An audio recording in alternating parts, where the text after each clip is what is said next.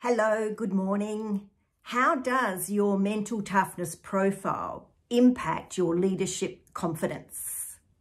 I'm Lia Zalums and I'm your guide to all things mental toughness and how that translates to your leadership impact.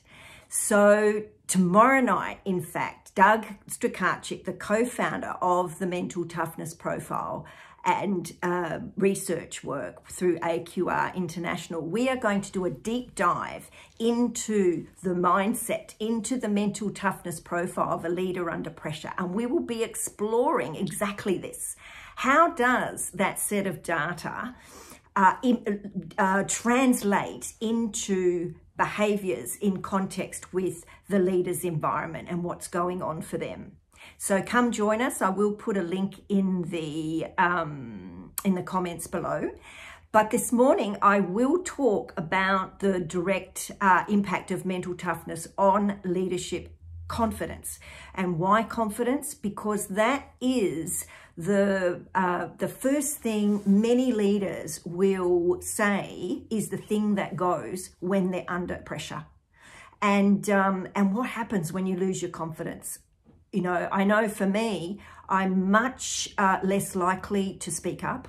I'm much less likely to uh, know what my opinion is, let alone express it. And I'm much less likely to hold my position when someone's criticizing me or not agreeing with what I'm going to say, if I don't have that sense of confidence in myself. And then when I'm doubting my confidence in communicating with others, I'm certainly not going to, I will, I will shut up. I, I will say nothing, or maybe I won't even turn up. So, you know, I think, and we all have that inner saboteur that, that wins the game sometimes, isn't there? So Doug and I will be talking a lot about that tomorrow.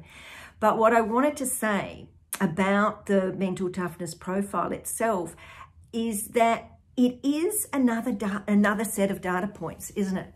And the beauty of working with a professional coach who is trained to unpack what that actually means for you, because it's only going to be contextual. You have your unique set of data points, just like it's like a map of your brain uh, at that point in time. And it is they're indicators that, right? There's going to be some scores. Some will be higher, some will be lower but they only have meaning when we have a conversation in context to something that you want to move forward on, that you want, that you're finding, you're suddenly perhaps seeing um, that you default into behaviors uh, that you just cannot seem to change because they're just so deeply ingrained.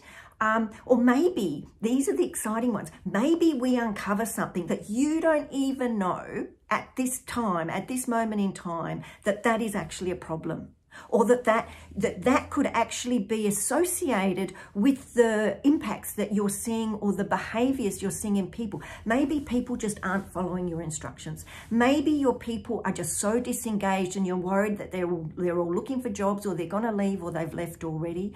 Or maybe it's you. Maybe you are questioning where you're taking your business and where, where and, and what, and, and whether you have what it takes to make that vision and mission uh, uh, happen.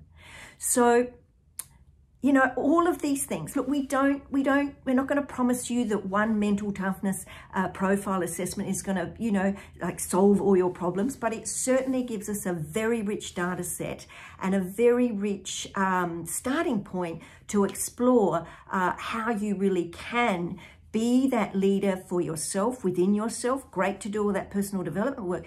But really, as a leader in business, you need to translate that into how you communicate with others, how you make decisions, how you're going to make that next quarter look. Because learning without action is just learning. It's learning plus action that creates transformation and a ripple effect. So the more work we do that is deliberate and intentional and with evidence-based approaches like the mental toughness model, the more effective we're going to be for ourselves and importantly with our people. This is not just about your development. This is the impact you have on being able to inspire your team to take intentional action so that together we can move through this horrible uncertainty of COVID. Oh my God. And it's, you know, all the reports are saying that the job market, the economy is just getting worse. We've got to do all we can to move ourselves forward in the most effective way we can. And at the end of the day, my friends, as I said yesterday, leadership is all up here. Your mental toughness is a huge factor in your ability to be able to move through this uncertainty, have all those big feelings, and still take yourself and your team in the direction towards success. So join me tomorrow with Doug. Uh, register and if you can't make it live there will be a recording but I encourage you to join us and uh, and let's explore the mindset the mental toughness model profile of a leader under stress under pressure and see what that might unlock for you. Thanks for watching